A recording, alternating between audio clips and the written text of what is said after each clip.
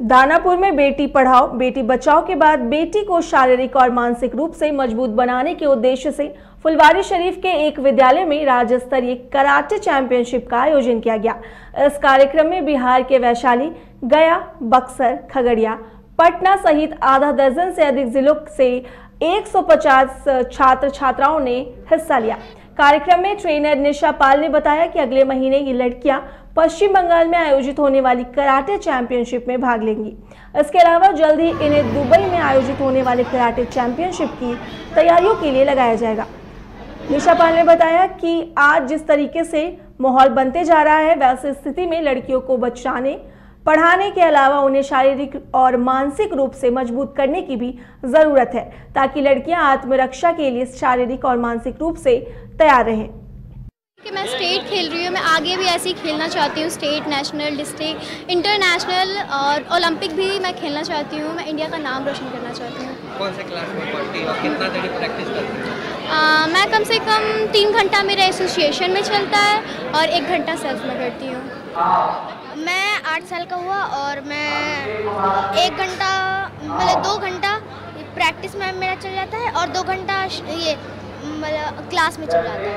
कब से तुम प्रैक्टिस कर रहे हो? मेरा एक साल हो गया। आ, सर यहाँ पे कराटे का आयोजन चल रहा है जो कि गर्ल्स बॉयज़ और बच्चे का इवेंट हो रहा है यहाँ पे। क्या राज्य स्तरीय है क्या है सर ये स्टेट है। ठीक है ना? हाँ सभी जगह से बच्चे यहाँ पे खेलने आए हैं। लमशम यहाँ पे सौ से ऊपर ही बच्चे हैं। कहाँ कहाँ के बच्चे कहाँ कहाँ के बच्चे हैं? आ, अभी तो पूरे पटने के बच्चे हैं और आ, जैसे भागलपुर हो गया मुजफ्फरपुर हो गया अदर अदर डिस्ट्रिक्ट से भी आए हैं बच्चे। देखिए ये तो open Bihar inter school and senior karate championship है। ठीक है? ये स्टेट लेवल का चैंपियनशिप है। यहाँ से जो बच्चे सेलेक्ट होंगे वो नेशनल में जाएँगे। क्या कहेंगे जो आजकल के बच्चे जो होते हैं, खेल के प्रति जागरूक नहीं हो रहे हैं, जो है कि नशे में आदि हो जा रहे हैं, उन लोगों के लिए आप क्या कहेंगे? देखिए, सबसे पहली बात है ना कि इसमें सबसे पहले पेरेंट्स को अवेयर होना पड़ेगा। देखिए, बच्चा अगर कहीं खाली दिमाग शैतान का घर होता है, बच्चा अगर खाली दिमाग कहीं बैठेंगे, ठीक है तो वो कहीं ना कहीं सर्किल के द्वारा वो नशे के आदि बनेंगे। वो तो पेरेंट्स को चाहिए किसी न किसी गेम में खासकर कराटे ही नहीं बोल रहा हूँ मैं, कराटे से सेल्फ डिफेंस में किसी गेम में बच्चों को इंगेज करना तो एजुकेशन और स्पोर्ट्स जब आएगा ना तो बच्चे का माइंड क्लियर होता है। जब माइंड क्लियर होगा तो कभी वो गंदे तरीके से नशे के तरफ़ या गरीब गंदे लोगों के साथ वो निकलना बंद कर देगा।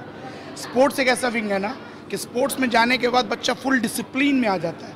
मीन कम्प्लीटली हम जब बच्चे मेरे पास ज्वाइन करते हैं अच्छे अच्छे बच्चे आए हैं जो कि नशे के आदि थे दिन भर बैठ के उसको गांजा पीना है। बट वो आज मेरे पास है ना, आज गारंटी कहते हैं कि वो बच्चा टच नहीं करता है और उसके साथ टच तो दूर की बात हो गई। वैसे लोग के साथ जाना पसंद नहीं करता है कि जो